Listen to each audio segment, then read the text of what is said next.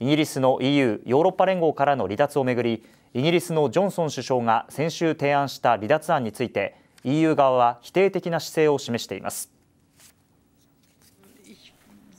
イギリスの首相官邸筋によりますとドイツのメルケル首相は8日ジョンソン氏と電話会談し合意の可能性は著しく低いと伝えたということです。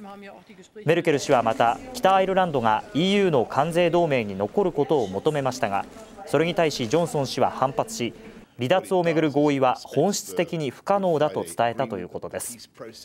また EU のトゥスク大統領はツイッターでジョンソン氏を名指しし大切なのはヨーロッパやイギリスの将来であり馬鹿げた非難合戦で勝利することではないと訴えました。